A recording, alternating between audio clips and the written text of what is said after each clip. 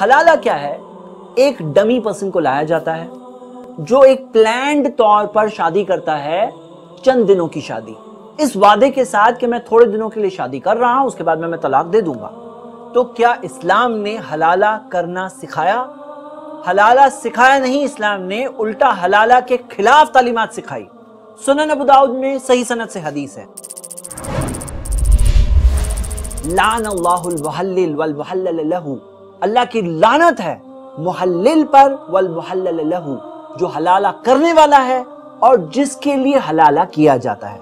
क्योंकि ये एक डमी निकाह है बोगस निकाह है, अल्लाह की सजा है ऐसी चीज़ करने वाले पर और कराने वाले पर। दूसरी बात यह है, हलाला एक टेम्पररी मैरिज है, एक वक्ती तौर पर की हुई शादी सही मुस्लिम में हदीस मौजूद है। अल्लाह के रसूल मोहम्मद सल्लल्लाहु अलैहि वसल्लम के बारे में आता है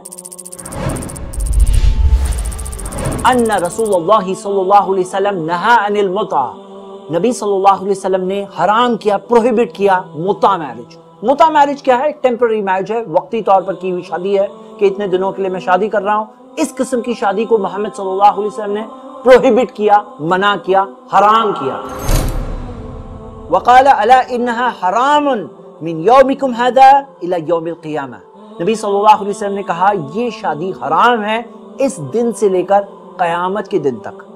तो हम देखते हैं कि हलाला शादी एक टेम्पररी शादी होती है, एक जेन्युइन शादी नहीं होती है। तो इस वजह से भी ये शादी हराम है।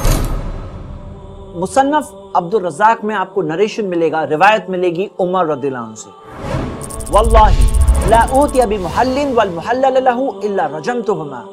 अल्लाह की कसम, अगर मेरे पास कोई हलाला करने वाला और कराने वाला लाया गया, मैं दोनों के दोनों को पत्थर मार मार के संसार करने की सजा दूँगा। मुस्तदरक हाकिम में सही सनत से हदीस है, अब्दुल्ला इब्न उमर रदील्लाहुमा से।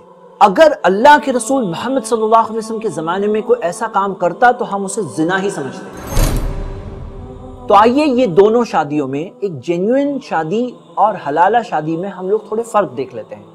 पहला फ़र्क ये है कि एक जेन्युइन शादी टाइम बाउंड नहीं होती। वो हमेशा के लिए होती है।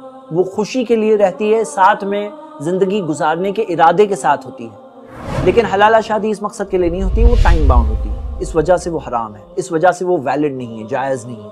दूसरी चीज़, एक जेन्युइन शादी ओपन होती है अनाउंस्ड होती है, उसका ऐलान किया जाता है। लेकिन एक हलाला शादी सीक्रेट होती है छुपा छुपा के की जाती है। यहाँ तक अगर कोई बच्चा पैदा हो जाए तो उसके वालिद का नाम भी उसे ओपनली बताया नहीं जाता।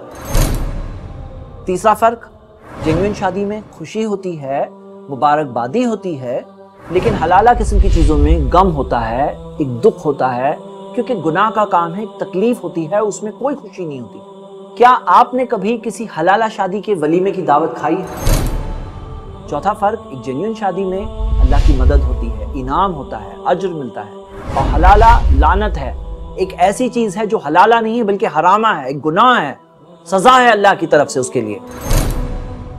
और पांचवी और सबसे बुनियादी चीज़ कि एक जेन्यून शादी हकीकत में एक जेन्यून होती है मतलब उसके अंदर सिंसियरिटी होती है एक हलाला शादी बोगस शादी है। आइए इसका नतीजा क्या होता है देखते हैं।